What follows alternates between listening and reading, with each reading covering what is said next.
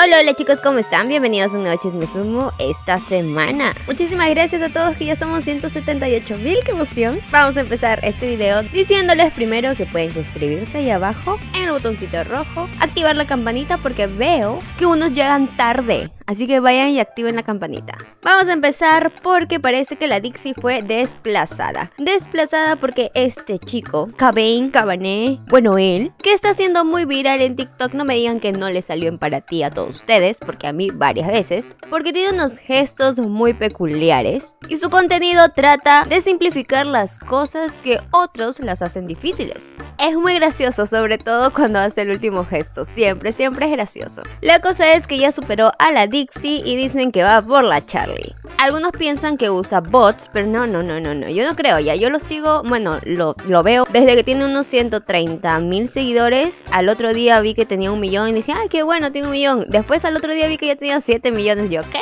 Así que sube bastante rápido. Por otra parte, también aquí Dixie involucrada porque en su show, Matt contó todo el lío de Josh y Jaden dejando en claro por qué Josh pues la odia un poquito y haciéndonos saber de que Josh se quería casar con Nessa y se lo comentó a Jaden.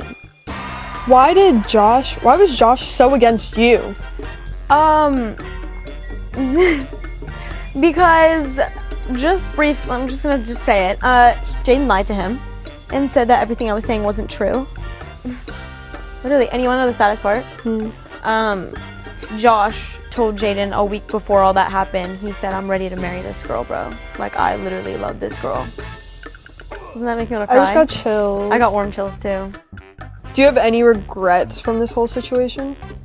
Um, no, actually. Um, he taught me what I don't want in a man. And the fact that I got to learn this young in my life. Qué fuerte, gente, qué fuerte. Igual Nessa salió a responder, ¿ustedes creen en todo? ¿Ustedes le creen a Max? Yo no sé todavía este tema, no me queda muy claro, pero Fede le pidió a Carolina que sean novios. Él le hizo un video de YouTube diciéndole que sea su novia. Encima Carolina reacciona en TikTok y la cosa es que al final le dijo que sí. Pues O sea, ¿ya, ya son, ya están juntos? Si es así, pues Nicole ya quedó en el pasado. Hasta Alex, que no lo veíamos hace tiempo, reacciona y dice, cuidado con mi hermanita. O sea, sí puede ser que ya están. O sea, ¿iba en serio? ¿No era broma? Lo que no es broma es de que Mitch se muda. Se muda, se va de su casita y deja su puerta.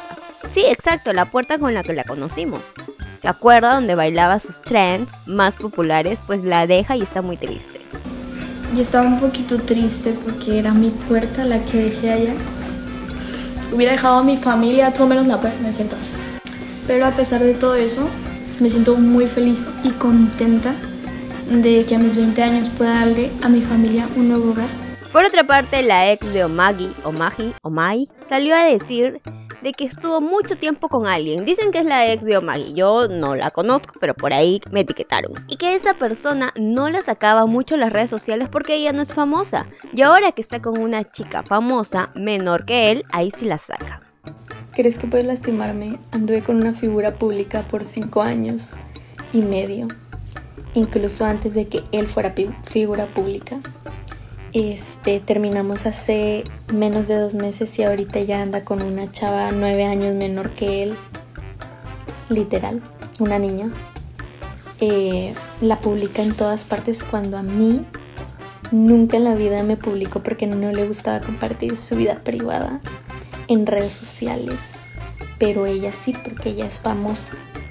Y lo peor de todo es que en mi For You page me apareció un video de ellos comiéndose en el antro y ya nada puede lastimarme. Me dejó con dos perritos que teníamos juntos y un anillo de promesa. ¿Ustedes creen que me pueden lastimar después de eso? Claro que no. Se dice que Iván Martínez respondió a un comentario que atacaban a Jimena Jiménez. Y ahora que no está en el team sube fotos con poca ropa. Se va a operar y cambió su contenido completamente. No sé, algo raro hay ahí. Ouch, pone. Después borró el comentario y Jimena le puso no lo borres. ¿En dónde dijo que se iba a operar? Yo no lo vi. Pero no es el único que le comenta cuando sale Jimena Jiménez en los videos. Porque en este videito que sale con Aaron, pues Emilio pone ¿Cuándo venís a Los Ángeles? Pero no se sabe si lo dijo por Aaron o por Jimeno, o sea, ahí se queda la duda. Lo que no nos queda duda es que la JJ está en Mazatlán y dice primera vez en Maza.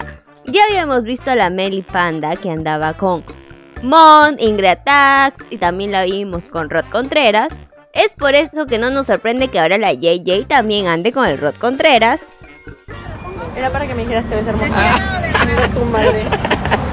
no me toques. Pero parece que la Fer también está ahí porque la vieron grabando en la casa del Rod Contreras. Y por eso vamos a entrar a esta sección combinada de que la voy a extrañar. Porque me encanta cuando se combina la sección que la voy a extrañar. Por ahí unos tweets. Fer, un hombre no es el que oculta, es el que expresa. Rod, es que lo tuyo y lo mío es un romance en secreto. Por eso lo oculta, dice. Además, la JJ, como siempre destapando intimidades, habla que hubo un beso entre Rod y Fer. Este, ya que yo sé que Fertreras está grabando este live, este, sube esto a TikTok porque tengo una pregunta. Rod, si Fer tuviera 18 pendeja. Cuéntanos cómo fue el beso con la Fer. porque el que yo me di con Fer. Hasta donde yo grabé este video todavía no hay imágenes juntos. Hay imágenes de Fer, JJ con Mon, Edwin, Gretax, pero no de Rod Contreras, aún no sale por ahí. Al que sí le dijeron de que si quería colaborar con Fer era Víctor y Víctor puso like, o sea, aceptó que sí puede ser. Bueno, Víctor se acopla a todo, o sea, él no pierde tiempo. Por otra parte, pues le preguntaron a Carol por su amistad con Rod y ella pues aclaró que sí le encanta la amistad.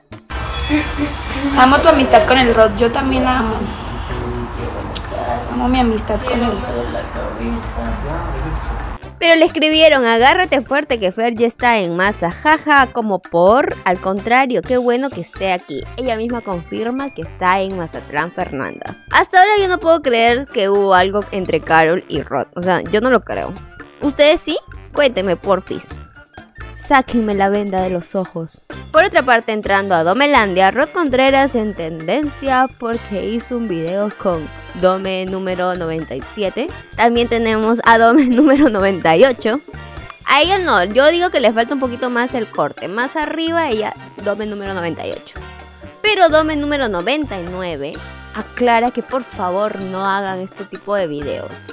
O sea, es media Dome nada más. Yo les voy a mostrar a una Dome que es así, es igualita, los ojos, los gestos, la boca, todo, el pelo, todo, todo, todo igualita. Aquí a continuación, Dome número 100. ¿Verdad que es igualita? Ay, el culo se pasó. Pero así como tenemos a la Dome número 100 igualita, idéntica, una hermana gemela, tenemos también al hijo del Rod con el Keblex. Ya hasta estoy pensando que todos nos parecemos. Bueno, la Dome número 1, o sea, Abigail, hace un TikTok con el audio de Fernanda de Ian Fair, donde ella quería que paren el hate, o sea, Ian Fair en el audio.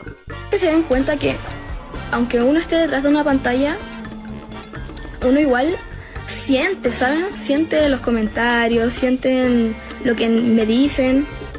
Y Melipanda le pone confirmo, o sea, sí se lleva con Melipanda, Abigail.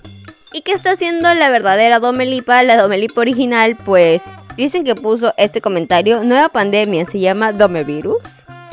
Por el momento ya se tatuó la paleta en el brazo, o sea, para que digan que es su símbolo. Mientras tanto sigue de tweets con su Carlitos. No estamos para perder el tiempo. Dicen que para todo hay tiempo, pero la neta me estreso. No te estreses, hay que celebrar mejor los 5 millones de Kevlex, quien celebró con toda su pandilla, incluyendo a su casi novia, la Nacha. Yay. Vinimos todos a cenar por los 5M.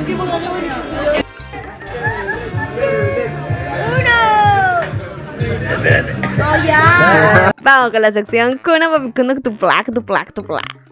Oigan, el Kuno se burló de Abigail.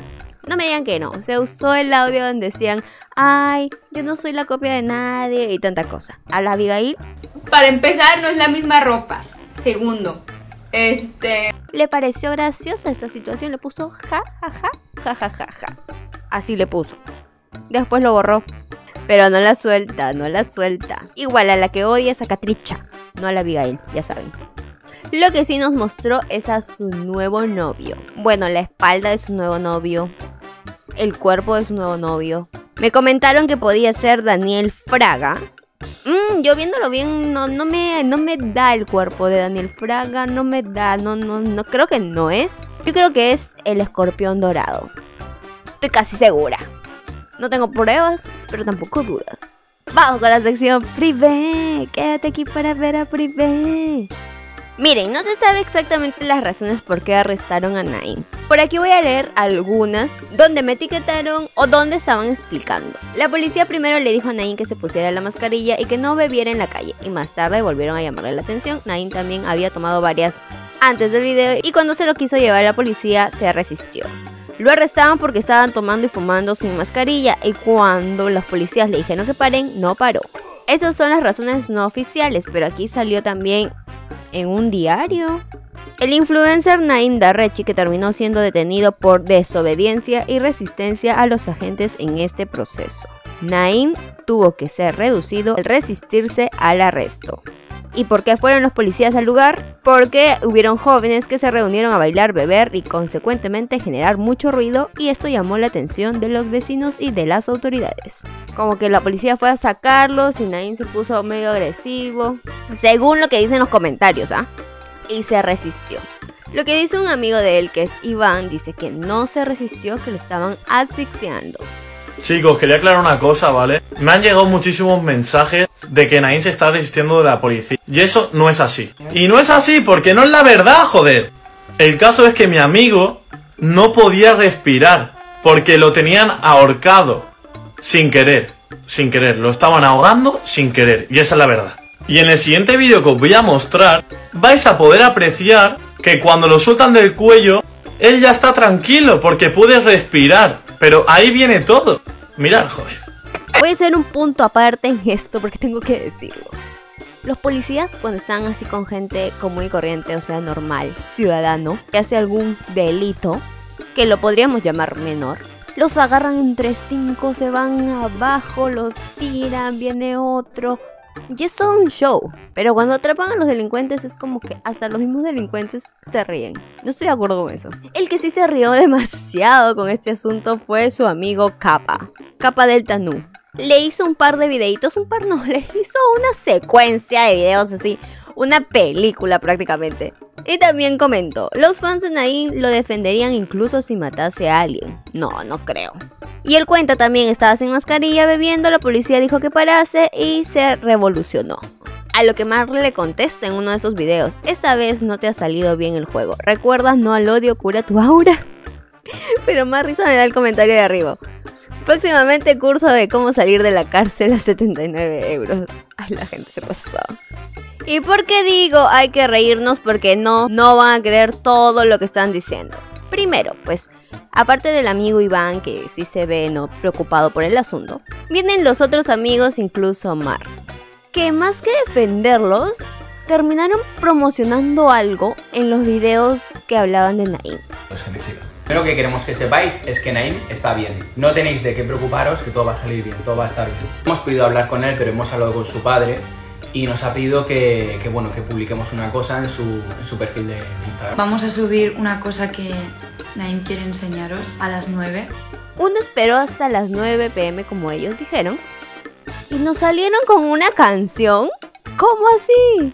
Es donde la gente empezó a decir, esto fue puro marketing, nunca pasó nada malo. Pero yo me pongo a pensar, o sea, o sea, o sea, los policías eran reales, ¿no? Lo que puedo creer yo en mi mente así maliciosa es de que llegaron al lugar, los policías sí fueron reales y Naim vio la oportunidad de ser tendencia, faltando el respeto a los policías, sabía que esto le iba a pasar. Porque otra forma de marketing no creo que haya contratado a los policías, ¿no?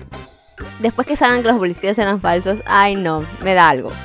Otra vez el cuerdo Iván, porque es la persona más cuerdo. Él sigue preocupado y dice hasta el momento, dice que Naim está bien, pero que no ha hablado con él. La verdad, chavales, os soy sincero.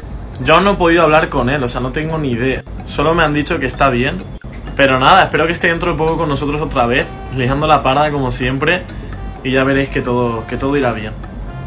Entonces Naim por fin sube unas historias y se desliza, nosotros deslizamos y nos lleva a una canción, gente. Mi otra teoría es de que él no quería que nada de esto le pasara, pero ya que le pasó, pues lo está aprovechando y nos manda a ver sus canciones. No sé, esta es mi otra teoría más simple, ¿no?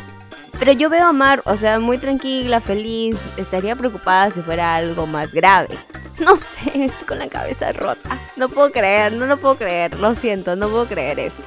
En esto sí te creí, Naim. Yo te creí, mira que yo no te creo nunca, pero en esta te creí. Hasta te creyó el Augusto. Esto es un poco bizarro, pero Augusto, el, el perseguidor de TikTok, le mandó todo su apoyo. Le deseo solo bendiciones y en estos momentos pues lo que más ayuda es esperar que salga pronto y realmente él sabe que lo quiero. Y los chicos como Naim y Darian también. ¿Qué opinan sobre el arresto de Naim? ¿Que hace falta más empatía en este mundo? Es fácil juzgar sentado desde tu casa. Hay que estar muy mal de la cabeza para alegrarse por las desgracias de otros. Todos son santos cuando hablan de errores ajenos. Si le deseas el mal a alguien, yo te deseo el bien. Al final cada uno ofrece lo que tiene. Claro, ellos solo saben lo que sale en las redes sociales porque tenemos entendido que no es que conversen mucho con el Naim. Bueno, pasando de este tema, les dejo con la revista Tú, donde salió de portada Jan. Sale bastante guapo. Y mientras tanto les digo que hasta aquí el video de hoy. Si te gustó el video dale like, suscríbete y activa la campanita. No te olvides de ir a seguirme en Instagram. Les agradezco mucho a la gente que me etiqueta en TikTok. Por ahí me ponen, ay, ya te tengo hartas. No, no me tienen hartos. Me gusta que me etiqueten. Lo único que les voy a pedir es que se fijen mucho en la fecha y en los chismes donde me etiquetan, porque a veces me etiquetan en chismes súper pasados hasta del 2020, que ya lo vimos aquí. Ya saben, pueden ir a ver el chisme por donde quieran. Sáquenme la vuelta, pero no me dejen. Gracias chicos.